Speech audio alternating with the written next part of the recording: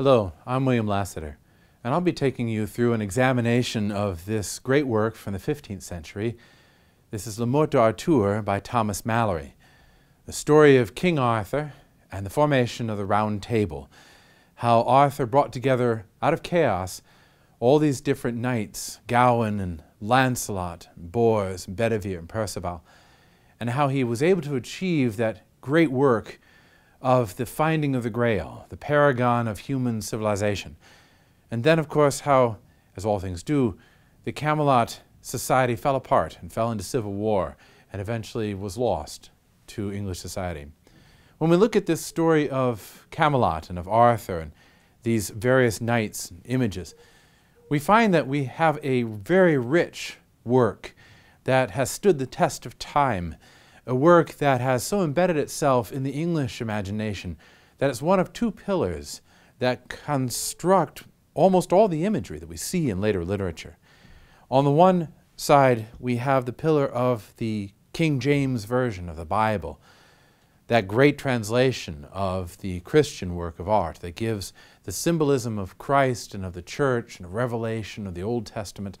And then on the other hand, we have this great work of the Arthurian cycle, a series of stories and sagas that were first oral tradition and were then later written down by various individuals, troubadours, writers such as uh, Chrétien de Troyes in France, and, and other anonymous writers in British history, and then finally written down by Malory himself in the 15th century.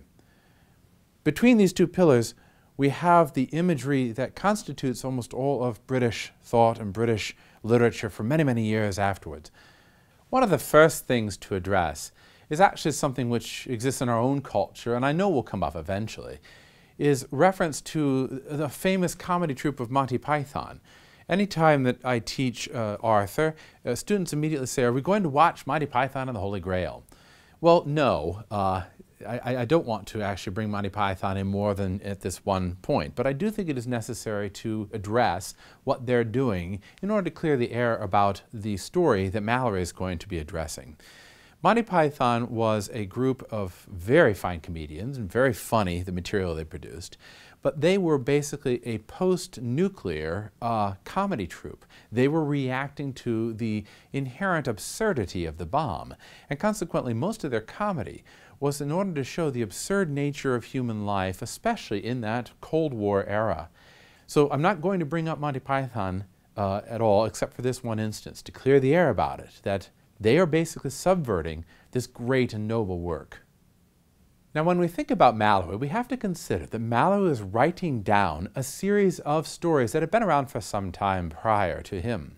He was writing in the 15th century, 1400s, and prior to that, we had had uh, people that had told these stories based on a real historical character.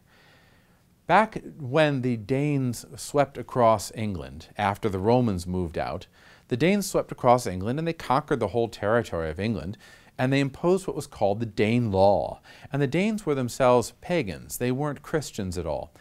And they drove the Christians, basically, westward into Wales.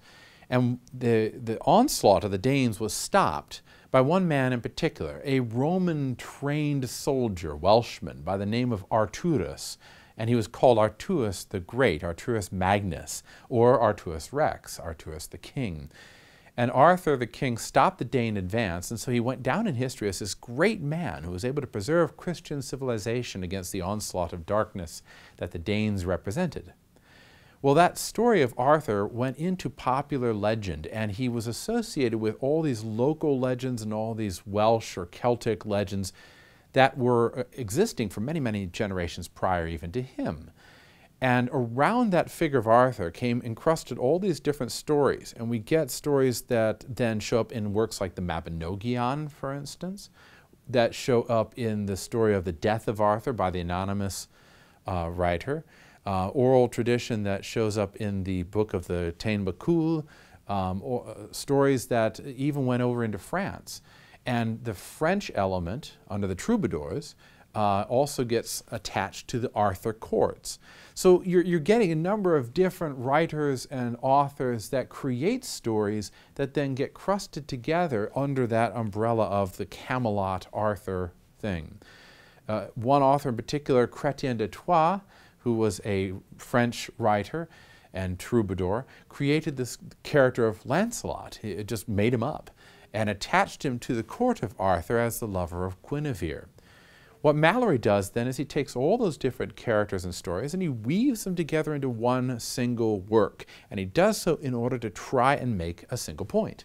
And that's what makes this work so unique among all the various other numerous works about Arthur, is it doesn't just take disparate stories and throw them up haphazardly. He tries to weave these disparate stories together into a single point. Malory himself is a very colorful character.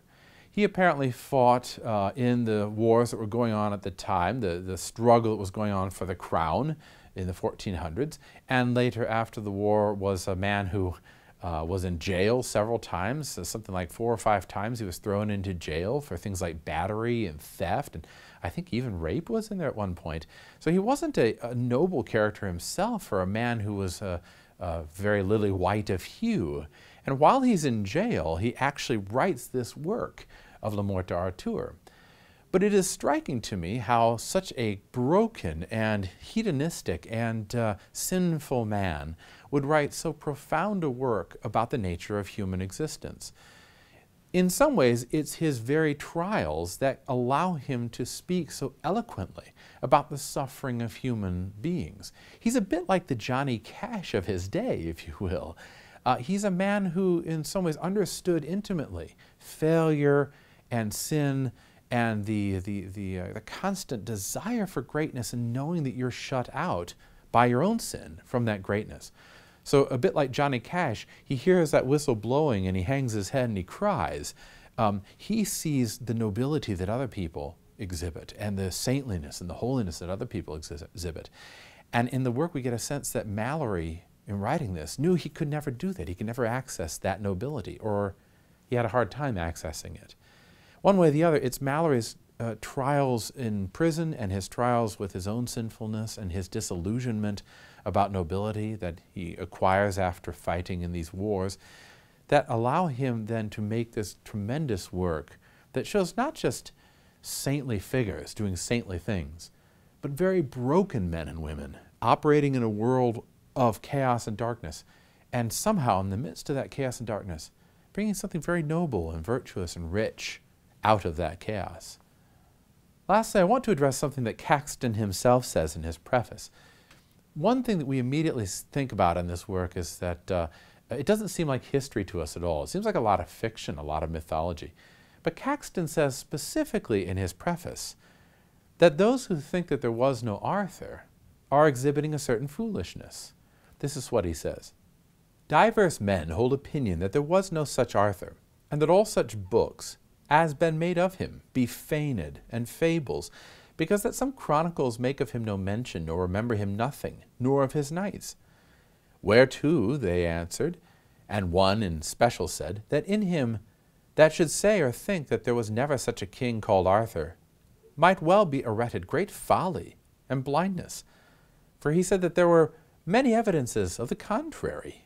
Wherefore it is a marvel why he is no more renowned in his own country, save only it accordeth to the word of God, which saith that no man is accepted for a prophet in his own country. He goes on in the preface to talk about this as a history, a history of King Arthur. And that was, that was pretty common. Most of the written forms of the Arthurian story talk about the history of Arthur, the history of the kings of England, or the history of the Grail, or the history of the fall of Camelot and the death of Arthur. So Malory is writing a history in the sense that the medievals saw history. You see, one thing we have to consider is that we live in a post Enlightenment world. For us, history is a different thing. We think of history as empirical evidence, things we can prove or measure, back up by archaeology. And if there is no empirical evidence, if we can't measure it, or if there was no written evidence of this. This isn't history, it's fiction. But the medievals didn't think that way, no more than the ancient world people did. Ancients, as well as the medievals, as well as pretty much everybody up into the Enlightenment, thought of history as myth. Myth and history were the same thing. The reason being is that for them, history only had bearing on people reading it in the present. That is, we read these histories not to know about people in the past, because they could care less in some ways, but rather to know about how we live right now. And the histories, as conceived prior to the Enlightenment, were works that were designed in order to show us how we ought to live our current lives. If they didn't have bearing on us in our current lives, they were kind of worthless. And to some degree, that's, that's a rather intriguing point. Of course, now we would not claim such things to be history. But why should we learn about, say, for instance, the Battle of 1066? How many men died, when it happened, what the um, impact was? Why should we learn about those things? Unless, of course, they have bearing on how we should live now. If, for instance, we're learning about the greatness of men and, and, the nobility of people and how they would bleed and die for something, or the strength or the strategy, then we're learning something not about people long dead, but about ourselves and what humans are capable about right now. And in that sense, I think that Caxton is very correct. There was an Arthur, even if he was a mythological figure. There was a character in history that did these things, and that consequently now when we look at our current situation, that is the 15th century for Caxton, we can say we too can live our lives this way, and we too can bring greatness out of darkness.